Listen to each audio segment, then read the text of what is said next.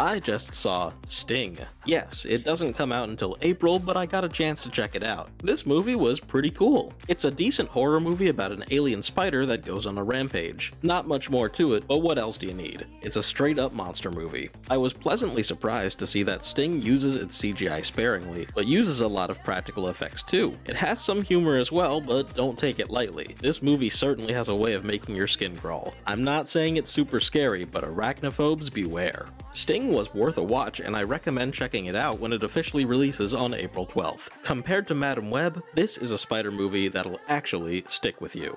Be sure to check out my YouTube channel for more in-depth content.